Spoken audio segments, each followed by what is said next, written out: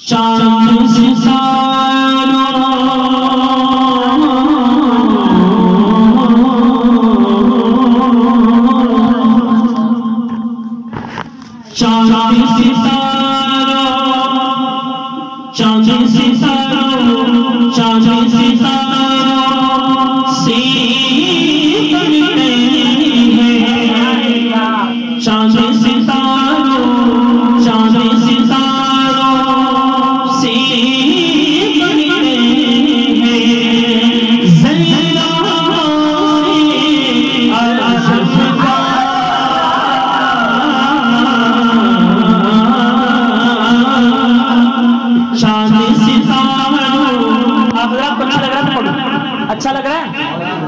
ہے تو پڑھو اگر بور ہو رہا ہے تو پھر چھوڑ دیں۔ کیونکہ جس کے نام سے نام سے لچائی گئی ہے ذکر نہ ہو تو کیا فائدہ؟ وہ سیاست کی بات کرنے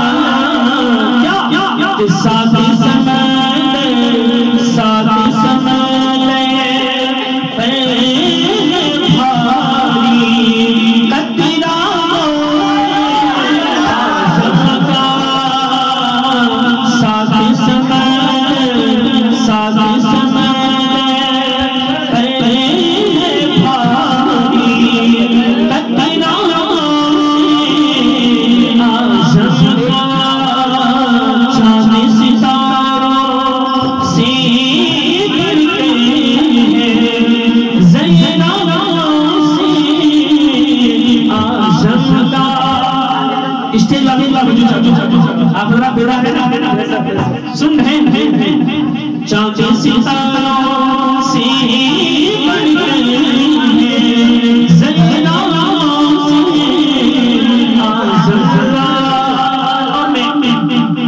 اہل سنت والجماعت زمانے کا ہر قاعدہ ہے کہ جس کا کھانا اسی کا گانا اسی لحاظ سے شیخ شیخ فرمانے کہ جس کا کھانا اس کا کا اس کا ہم نے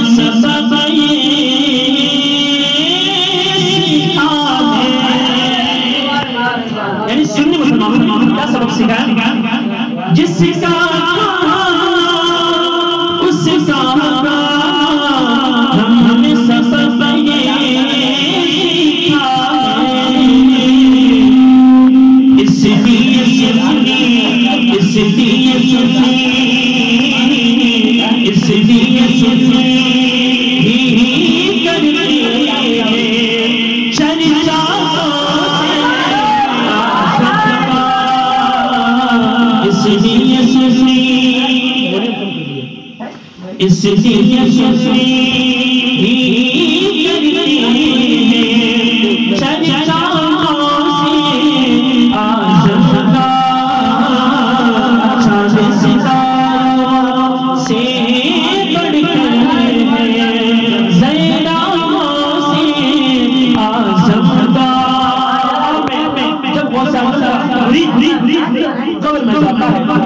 جب سوالات کے لیے تو کیا کہتے ہیں؟ فرشتے ان سے کہتے ہیں کہ وہ اعظم کا غلام ہے سے سوال جواب دیتا ہے۔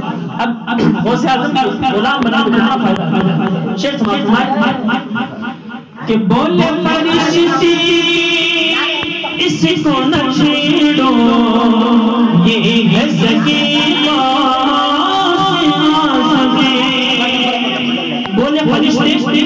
کو نہ چھیڑو کیونکہ یہ ہے غوث آزم کا کتا۔ بول اس کو نہ چھیڑو یہی ہے سکی کیسے؟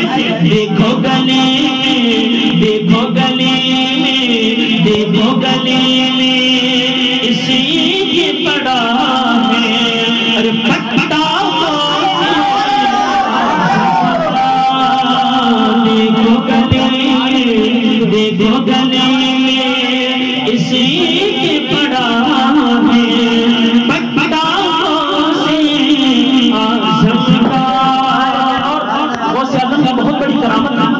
ہے غوث اعظم قبر سے مردے مردے نہ کرتے ہیں اس کے اس اللہ کی اس اس کرامت کو اللہ مانے اس میں ایک واقعہ بتا دوں۔ عیسائیوں سے غوث اعظم نے پوچھا کہ تم حضرت عیسیٰ کو ہمارے نبی سے افضل کیوں مانتے سنیے گا غور سے عیسائیوں سے غوث اعظم نے پوچھا کہ حضرت عیسیٰ کو سب سے افضل کیوں مانتے تو عیسائیوں نے جواب دیا عیسیٰ کو اس وجہ سے افضل مانتے ہیں کیونکہ وہ مردوں کو زندہ کر دیا تو غوث اعظم نے برجستہ فرمایا اچھا تو تم اس وجہ سے ان کو افضل و اعلیٰ مانتے ہو کیونکہ وہ مردوں کو زندہ کر دیا کرتے ہیں لیکن میں تو نبی نہیں سنیے گا لیکن میں تو نبی نہیں لیکن نبی کے اولاد میں سے میں اللہ کا ولی ہوں۔ اگر میں مردے کو زندہ کرنا تو کیا میرے نبی نبی سب سے افضل و اعلیٰ مانو گے؟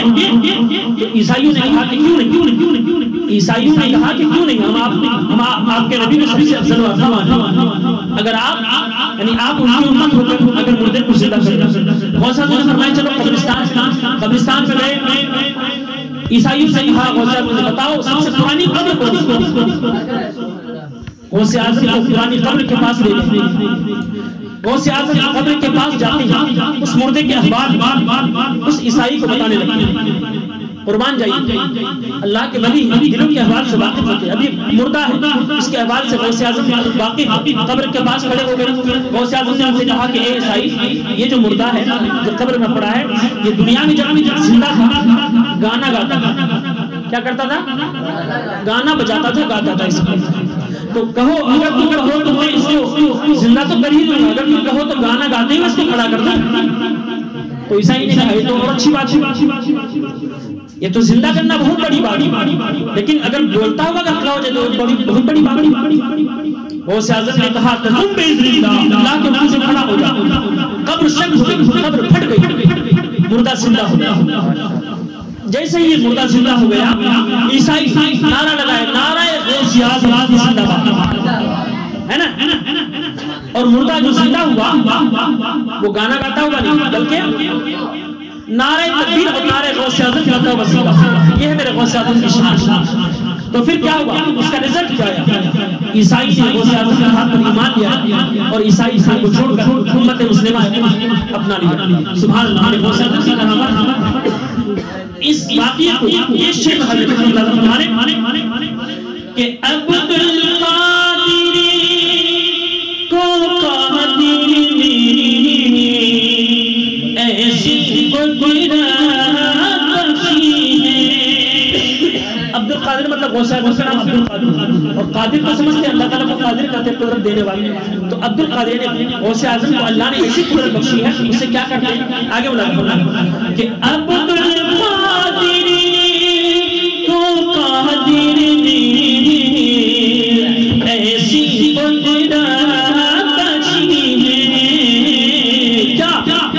کہ قبر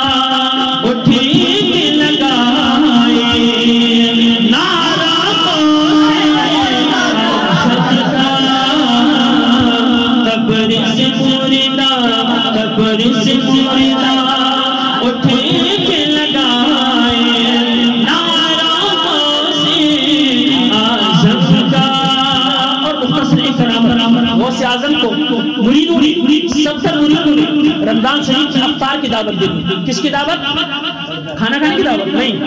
رمضان میں افطار کی دعوت دی۔ ستر مرید دعوت دی۔ غوث اعظم کا ستر مرید دعوت دی، ستر مریدوں کی دعوت قبول فرما دی۔ غوث آپس میں مریدوں کو کسی کو پتہ نہیں کہ ہمارے گھر بھی دعوت ہے غوث اعظم سے ہمارے گھر بھی دعوت بس ہم کو پتا ہے، سب کو خبر ہے کہ صرف میرے گھر ہی دعوت ہے۔ لیکن پتہ نہیں سب لوگوں کے آپس میں ہم لوگوں کی دعوت سب کی دعوت غوث اعظم نے سب کی دعوت قبول فرما دی۔ اب غوث اعظم کی کرامت دیکھ کر غوث اعظم کے افطار کے بعد ستر مریدوں کے گھر موجود ہے پھر اپنے دربار میں موجود ہیں۔ غوث اعظم کی کرامت ہے۔ اب اس شعر کو سماعت فرمائیں کہ ستر گھڑی